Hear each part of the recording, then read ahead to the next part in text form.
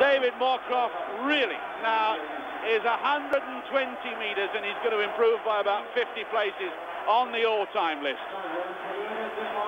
Social services officer, former PE teacher, and uh, the Coventry Godiva Harrier, recognised as a great clubman. That's the lead he has over Peter Koech. And Henry Rono, who's had a brilliant 5,000 metre run only yesterday.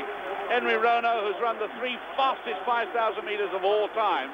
Koech, who's the second fastest man at the distance, 13.0950. And this is what David Moorcroft is doing to them.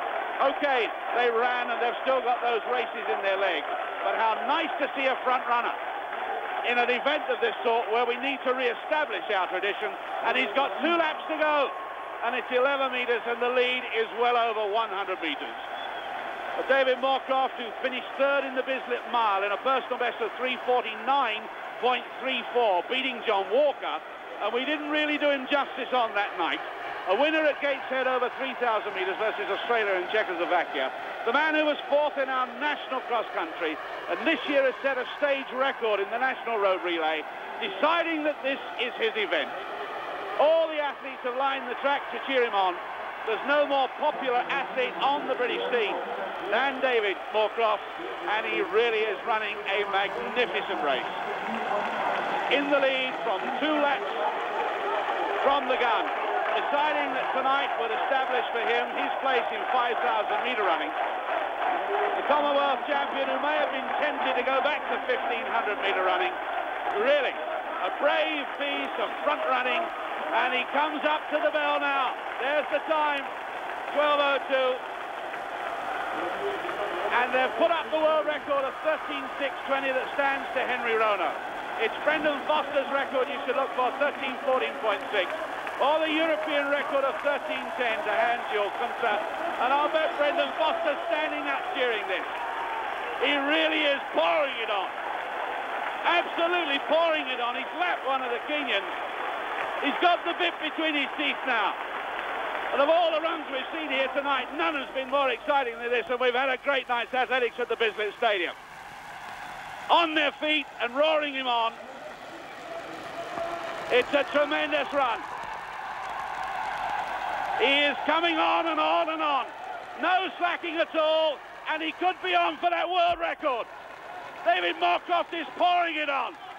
It's a tremendous run. He's inside. He must get it. He's well inside. He smashed it wide open. He's taken the biggest bite out of it that we've ever seen in modern time. 13 minutes dead, 38. The second place man is King. The third place man is Nick Rose. They too have run fast times. But the news is out that the world record is now David Moorcroft's. I thought he must fold over the closing stages. Such a lonely battle. But he just got better and better and stronger and stronger. Well, we've delighted, we've revelled in our world record holders, but none will be more popular than David Moorcroft. And no more popular a distance than 5,000 metres in which we have a great tradition, a tradition that's been waning. We think that Rose did 13.22, Clark 13.26, but look at this, for a 13-minute run, and Henry Rono was almost half a lap behind. And when the news reaches him, he will be shattered because Rono ran so well the night before. Moorcroft's night of glory and how much he deserves it. Oh.